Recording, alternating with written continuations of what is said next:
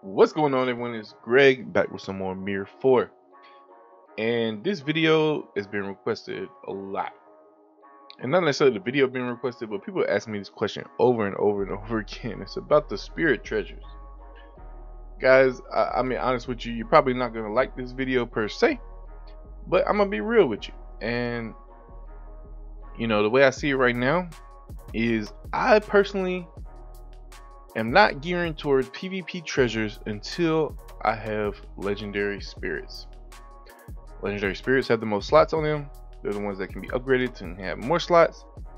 Until that point, I don't see reason to have uh, spirits with PvP treasures because because most of the spirits have some other kind of utility that you're going to use them for. For example, real quick, just to prove it or just to make my point here, let's say you have um, Succubus, uh, Flame Hellborn Bioho, and this bad boy right here has a 15% XP gain. If I get this, I'm not going to put PvP treasures on it. I'm going to slap all the XP treasures I can put on it as I can. Because not only does it increase my damage, it's going to, you know, it's, it's just going to help with farming incredibly, you know, at all new levels. It has this AoE move that will pull a good like half of the room in Magic Square. I see this as a very good PvE pet, even though it's still a good PvP pet as well. Because you can, uh, like on the Arbalest, getting this crit, really any character, getting a crit and the crit damage boost is amazing. So don't get me wrong, like you would use this in PvP too. But I'm sorry, for, you know, 90% of the game, you need to level up, right? People getting levels on you, that's game over. I don't care what your power score is. Uh, unless you're like uh, Monkey and these other Korean streamers that have like really like heavily invested into some characters on SA73, you know, yeah, at level 60 they can go PK some levels 70 to 80s. But even then they die really fast, right? So you got to keep in mind like there's really not too much you can do if you have too much of a level gap. You might be able to get some kills, but you're not going to have the survivability and, you know, honestly people will be able to take you out like real quick. So that's why I say it's not important to gear towards PvP treasures. And I know a lot of you, I'm probably losing a lot of people at this point because you're mad because I'm not telling you which ones to use. Um, but that's just what it is. So let's talk about what I do actually do for PvP or not for spirit treasure in general.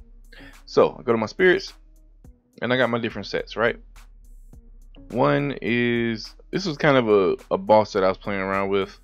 Um, Number two is, is my lucky and drop set. So if I'm using all of these spirits right now as my primary spirits for lucky and drop, what kind of treasures do you think I have on them? Lucky and drop. Here we go. Double drop chance. I got my epic drop chance on here. We got drop chance and lucky on this one. I just got the lucky epic treasure. So I got double lucky on here and a epic drop treasure on here as well.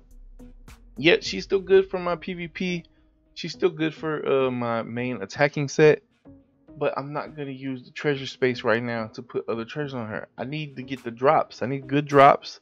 That needs to be the primary focus at this point in time. Like, and again, of course, I am more PvP or PvE oriented, but still, even if I was interested in PvP, which I do enjoy some PvP, but even still, I'm not going to put the treasures on for like some slight little edge when these benefit me so much more in the long run because I'm getting better drops and things like that. Next up, I use this guy in my set. I think it's because I don't even know why I use it. I guess because I don't really have any other drop. Uh, yeah, I don't have any other drop spirit right now, so I have this guy because early on I stuck on these two treasures on him, so that's why I use him in my drop set. This one has a little bit of the lucky drop chance, and of course I got the two blue treasures on him. So as you can see there, everyone in my drop set has these uh, drop or lucky treasures. Now, if I move on to my quote unquote PvP set or my main damage set, I have uh, this one's still gonna be have my main treasures on it for drop and lucky because that's her primary use case. Now, this is one I probably could optimize a little bit. I could probably throw on a PvP treasure or two, but I haven't been too worried about it. Honestly just have these green XHP. I probably will switch this out. Now that I've looked at it, I didn't even realize they were just green. Um, I don't. Yeah, yeah, none, none of them. I'll probably grab something out of my warehouse to throw on him. So I will probably change these. And these you can kind of play around with because I'm only using him in my PvE set or my, my damage set plus my PvP set.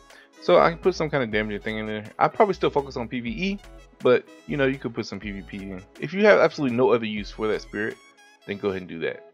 Um, he doesn't have anything except the, the instant evade, which I'm going to be using that when I'm actively fighting. Now, my Reaper. Right now, my Reaper is a big lineup in my XP set. Um, so he has XP treasures, and I do have an HP treasure on there for the heck of it, since he is in my XP set, get a little extra HP.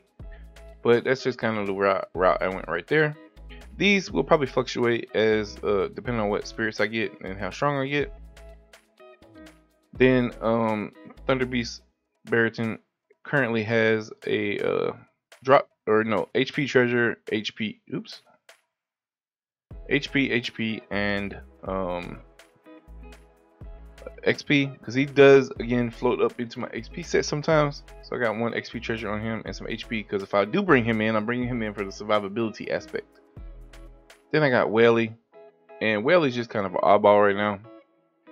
Every now and then I use Whaley in the H in the XP set, but overall, um, really just kind of using it for some of these additional benefits of uh, the stun duration and silence duration, and then uh, the success boost and of course a little bit of boost to HP and things like that.